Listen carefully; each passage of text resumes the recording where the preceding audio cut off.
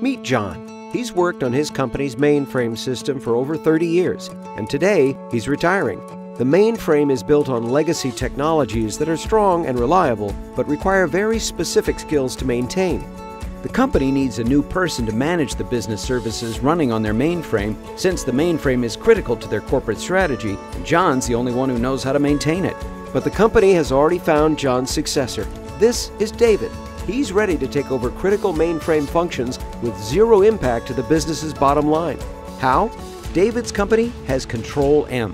Control M integrates every mainframe workload management function into a single intuitive graphical interface, which enables David to quickly ramp up with no interruptions.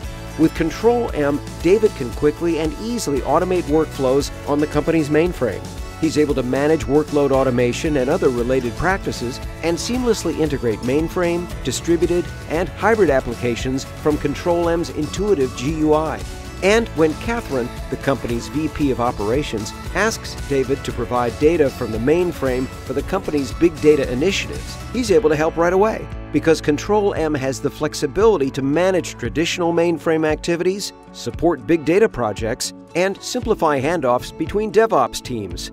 Control M gives David everything he needs to manage workflows and move workloads from his company's mainframe and integrate with the company's distributed systems, modernizing the mainframe and keeping the business moving toward digital transformation.